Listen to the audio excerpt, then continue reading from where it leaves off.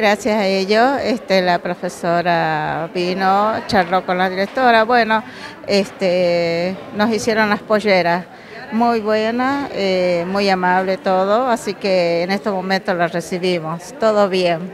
Como son escuelas que pertenecen a la municipalidad, es lindo que tengan esta conexión, ¿no? Porque tanto la de la escuela las alumnas se preparan y bueno, nosotros también a veces no tenemos cómo pagarlo porque sale carísimo la costura, entonces este, nos favorece, o sea, ambos nos favorecemos. Entonces eh, ellos aprenden y bueno, nosotros también eh, evitamos pagar también eh, la costura.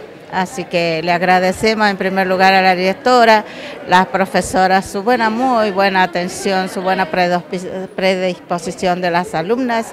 Así que nada, gracias, gracias realmente. Está bueno este tipo de articulación que tiene en este caso el taller de folclore con el Centro de Formación Profesional eh, para que puedan tener ellas practicar y ustedes poder tener su indumentaria para salir a los espectáculos. Exactamente, sí. Y gracias a las chicas, y las veo muy bonitas todas.